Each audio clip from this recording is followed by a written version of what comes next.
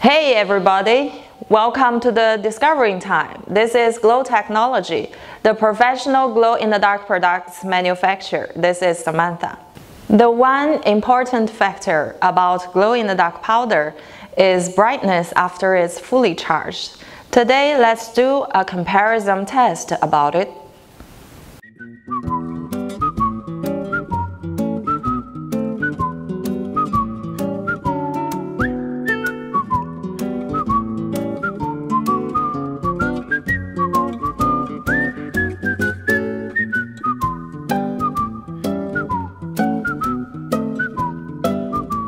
First, we need to test them in total dark environment.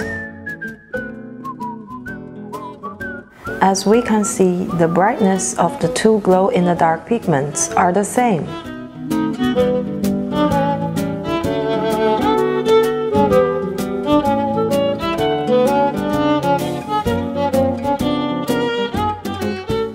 Now we use UV light torch to charge the two powder and wait for 5 minutes until the two powder is fully charged. Then remove the UV light torch.